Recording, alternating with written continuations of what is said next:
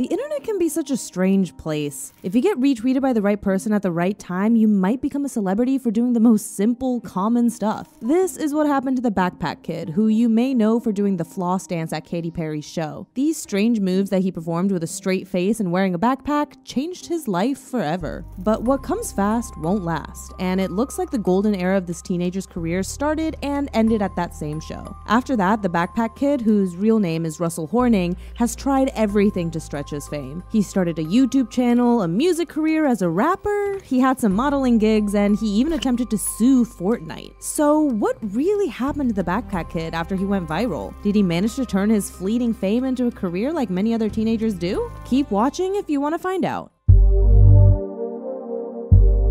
Russell was born in Georgia on December 19, 2001. He has two older brothers and a little sister, and according to an interview with Before They Were Famous, he grew up as the class clown. He has always liked to entertain others. In the summer of 2014, Russell discovered that he could entertain people by performing comedic dances. That year, in church camp, he performed the floss dance for the first time. Later on, he decided to start posting videos of his dances on Instagram. On December 7, 2016, Rihanna gave Russell a shout out. She posted one of his videos on Instagram with a caption caption, When I found out about my eight nods, shout out to the Academy, and she tagged Russell. The kid gained over 50,000 followers in the next couple of days. That was pretty good for him, but the best was yet to come.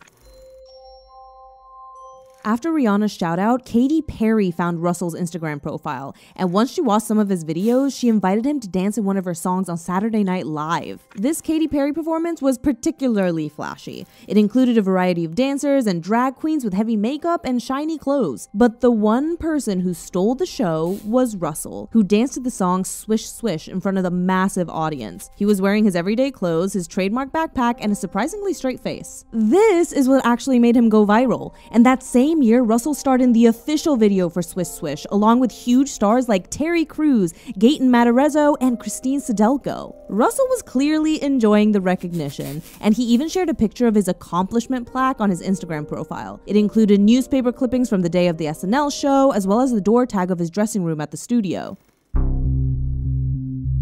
After being on TV, Russell got a huge amount of followers on Instagram and he started working hard to keep them entertained. He kept uploading dance videos and also some short clips of him and his friends hanging out and joking around. Russell tagged Rihanna, Katy Perry, and some meme pages in some of his videos, which showed that he clearly didn't want to be forgotten. Sadly, he then did something that got the wrong type of attention. In 2017, Russell posted a video of himself using a BB gun to shoot a goat in the eye. He deleted the video quickly after, but it had already sparked major controversy. Then then Russell uploaded a video where he explained that the goat was okay and he showed it. He also claimed that the goat was running around being happy and that it was just afraid of humans. This could have ended his career at once, but luckily Russell still had some fame to hold on to, so the goat incident was forgotten. Russell was becoming more and more active on YouTube, and some of his videos were really unconventional. His sense of humor involved doing strange stuff with a deliberately unfunny attitude. Some of the titles of his videos are Eating Wings, My Shoe Collection, and eating Chick fil A in silence. Also, he didn't seem to take himself seriously and he had no problem making fun of himself. It seemed to work well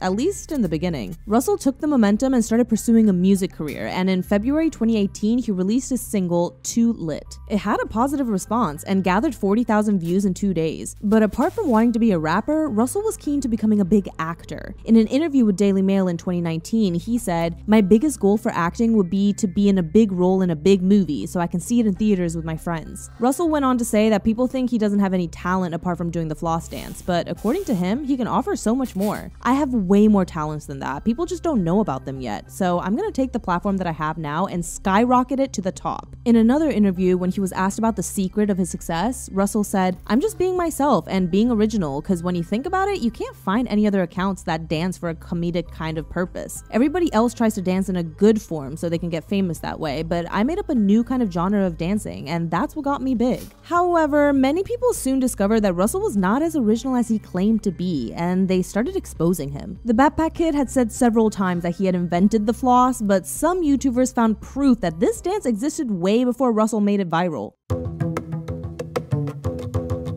The oldest video of someone doing the floss on YouTube dates from 2011, and there's another clip of the dance in a 2014 video from J Stu Studios. Also, there are people on Reddit that claim that this dance was never original in the first place, and some users even remember doing that in gym class years and years ago. The fact that Russell didn't invent this dance is particularly interesting because in 2018, Russell's mom sued Epic Games featuring the floss in the game Fortnite without giving Russell any recognition. However, before the lawsuit, Russell was very supportive of Fortnite having the dance he popularized. This made everyone believe that Russell was only after the money and that he would do anything for fame. The lawsuit ended up being dismissed because the floss was not even registered under Russell's name. But this incident had already caught the attention of many people who started noticing more and more that Russell was trying too hard to stay famous. In summer 2018, Russell released his song called Flossin' featuring DJ Suede. The song, as you may expect, is an homage to the dance that made him famous. However, the reaction was not good this time. In fact, it was very bad. The video has been watched over 16 million times, but it has way more dislikes than likes. Some of the comments say mean things like, I sprained my ankle yesterday and I got up from my wheelchair just to turn this song off. Other comments are more honest, like the one that says, There's more than triple the amount of dislikes than likes on this video. He had his 15 minutes of fame. As if that wasn't bad enough for his career, Russell then went to Genius to explain his song, which was not really necessary because most of the lyrics say, I be flossin'. People in the comment section of this video also didn't like that Russell seemed to be trying really hard to stretch his fame. It's like he's trying to make himself a meme. There were other people who were not sure if Russell was being deliberately cringy. I can't tell if this is serious or not, and that worries me. In late 2018, another video of the Backpack Kid went viral. This time because he was kicked off the stage after he started doing the floss at a rap concert. In an interview, Russell explains that he was actually invited to that show, but he accidentally knocked a phone out of a guy's hand and they pushed him out. Russell said in that interview that the internet turned that clip into something it was not, and then added that people online always wants to see your downfall. According to Russell, the incident was not a big deal. Russell also claimed that people think everything he does is cringy only because the backpack kid did it. He also addressed all the hate that he was getting online, and he said that even if people are mean to him on the internet, in real life nobody has ever come to him and told him that he's irrelevant. The Backpack Kid keeps posting on YouTube, and his latest music videos have a very similar amount of likes and dislikes. He also posts pranks, storytime videos, challenges, normal teenager stuff. Most of his videos have the comment section turned off, so maybe Russell prefers not to know what the people think about him and his content. Outside of YouTube, Russell has 1.8 million followers on Instagram and 2.4 million followers on TikTok. The attitude of the Backpack Kid is very consistent. He's always authentic in his awkwardness, he has a funny, unfunny attitude, and the content of his vlogs keep being really strange. But Russell is 19 now, and he's starting to look more like an adult, so maybe we can expect his content to change soon. Do you think Russell will ever accomplish his dream of being a big star, or will the Backpack Kid continue to vanish into internet oblivion? Let us know your thoughts in the comments section.